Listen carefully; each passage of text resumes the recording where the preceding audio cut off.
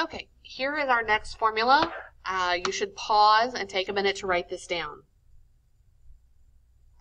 Okay, great. I'm glad you got this that written down. Every time you work one of these problems, you need to write down all your knowns, what you're looking for, and you need to find your formulas you're going to use so that you can organize your work. Again, don't try to go straight from up here and randomly put numbers in down here. It'll mess it up. So also, I'm going to say this problem and the, pro the problem you're going to work that goes with it, they're a little uh, sketchy on the problems. They're a little funny. These are written by Project Lead the Way. I didn't write them. We're just going to go with it and do these calculations. They've kind of oversimplified these a little bit, so you just have to bear with it. So it's saying that a student is going to watch the morning weather to decide what clothes to wear. And they're going to look at the temperature in the bedroom and the student's skin temperature. And we're going to determine how much energy they lose just by sitting in the cold room for 15 minutes. So first we need the surface area. Well, they've calculated that they're estimating the surface area of a student is 1.3. Please don't think of, ask how they found that. That's just an estimate. Okay, then E stands for the emissivity constant, and they've told us what it is for a student. This is E, 0.9. Again, this would be some kind of constant that they have to tell us in the problem, or we'd have to have some place to look it up.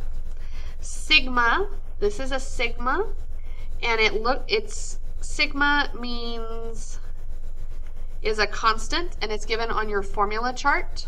So we're just going to write down the number off of the formula chart. This is just a constant that they calculated that we need for our formula. I'm just copying this straight off the chart. This is the same for every single problem you're going to work. That's always going to be the sigma in this formula here. Big T means temperatures, temperature 1 and temperature 2. In this case, it's not going to matter which one we put first. I'm going to put the 65 as the first one because we're talking about the student losing heat so to the bedroom. So I'm going to put this one first.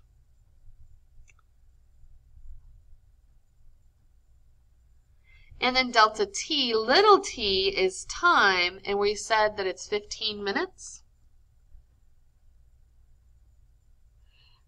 But we already figured out in some of the other problems that we need to convert times over to seconds. We don't do time in anything other than seconds. So multiply this times 60 and we get that this is 900 seconds. Okay, in this problem they're just, they're asking us to find the net energy transfer, that's P net. And we're also going to have to calculate Q as we go along. So we have this formula here, and an important thing to realize on this formula is this 4 goes with just the t. You have to raise the t to the fourth power before you subtract it. On your calculator, on your calculator to raise a number to the fourth power, if I wanted to raise 3 to the fourth power, I would use this symbol to the fourth power. Remember that means 3 times 3 times 3 times 3. So that's how you do it. So what we're saying is in this formula, you need to raise the number to the fourth power first before you subtract.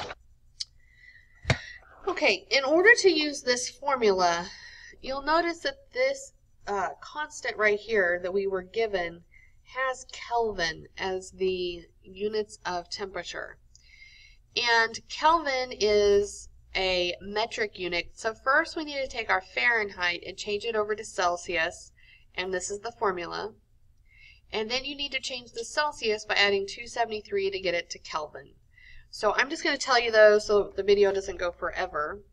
That makes this one 306.15 degrees Kelvin and this one 291.48 degrees Kelvin.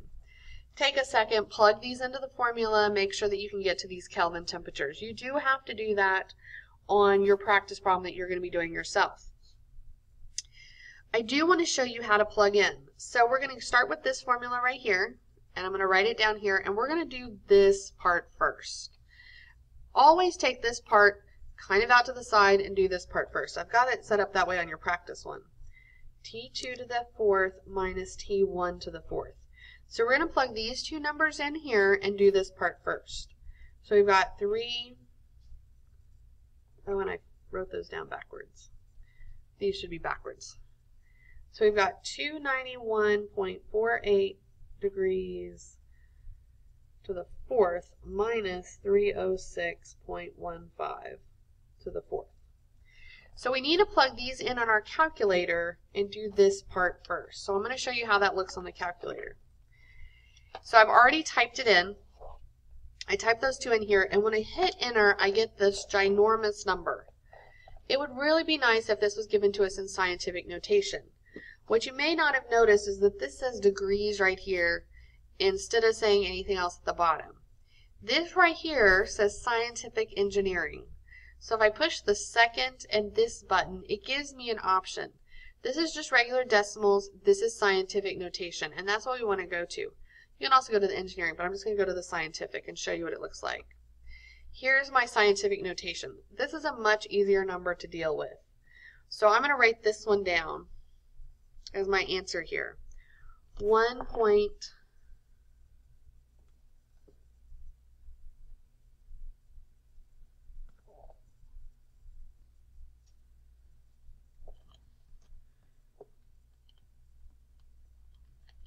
times 10 to the ninth power. This is a very big number. This is like 15 million in this number right here. But we need it because this one has the negative 8. So that's going to balance that number out there when we plug it in. So now I'm going to plug these into my formula. I'm going to use this PNet formula with this that I just got. So PNet, I'm going to copy it down again. So I copied down this formula. Sigma comes from up there.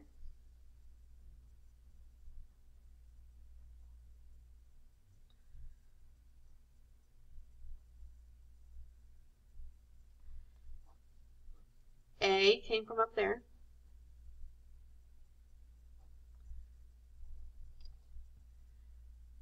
Uh, e comes from up there. And the delta, this whole thing, we just calculated over here on the side, so I'm going to write it out. Now we got this number when we calculated this, and what was the units on it? Well, this was degrees Kelvin, and we raised it to the fourth power, and this was degrees Kelvin, and we raised it to the fourth power. So this is degrees K to the fourth power. So now, I just took this number and put it right there multiply this stuff on your calculator. And we get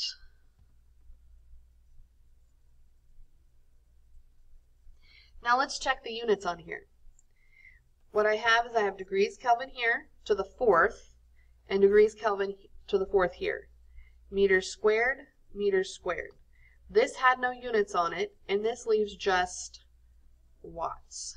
And power transfer, power, is in watts.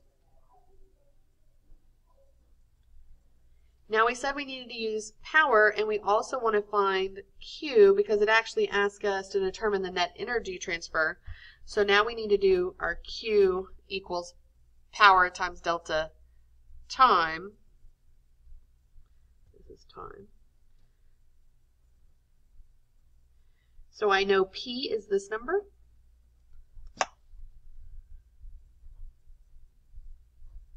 Delta T is 900 seconds, which gives us watts over seconds. And what is watts over seconds? That is joules. There's our final answer.